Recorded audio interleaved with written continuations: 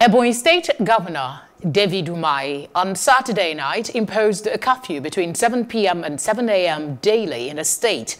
He directed security agencies and the anti-coronavirus task force to arrest anybody found outside his or her residence during this period. Umahi, who made the declaration during a statewide broadcast held in his office at the centenary city Abakaliki, ordered a restriction throughout the state from Sunday, April 19. The governor, however, exempted those offering essential services such as health workers, security agents, and media workers who, according to him, must have pass or permit.